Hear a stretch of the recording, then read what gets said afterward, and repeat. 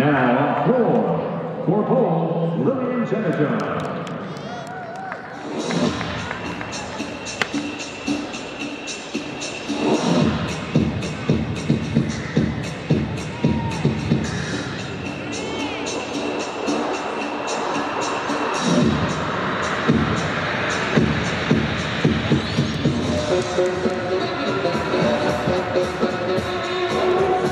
Thank you.